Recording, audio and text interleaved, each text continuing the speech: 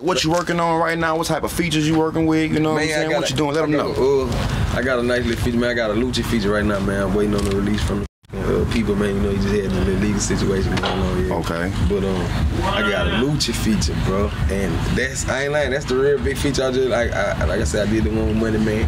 Oh, yeah, dude, you we feel finna, we finna get it in, dude. Hey, I don't know. He finna pull up at uh at us in four minutes, six thirty four, six thirty four.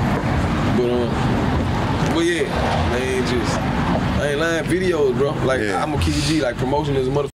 Like for upcoming artists, like I tell anybody that man, if you if you if you really really want to do it, man, get find you that song and push that.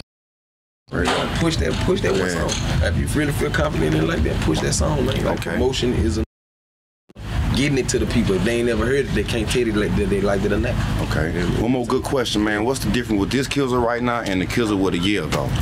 Man, this one is way smarter just Cause last year I was just dropping videos. I'll be honest with you, man. If I would have just dropped them videos, and I ain't even gonna lie, if I, I dropped 20 videos last year, if I'd have dropped 10 and just promoted, and not saying that shot them, shot them, I'd have had 10 more still in my pocket right now, and then promote all the how I want to. Like now I know that I didn't know about that promotion.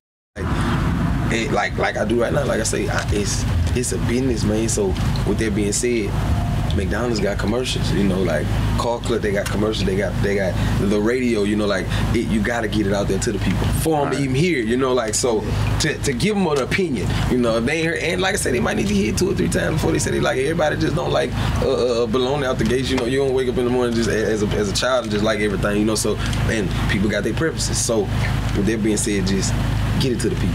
I ain't lying. Like you ain't Alright. necessarily got to just flood. Get it to them. For sure.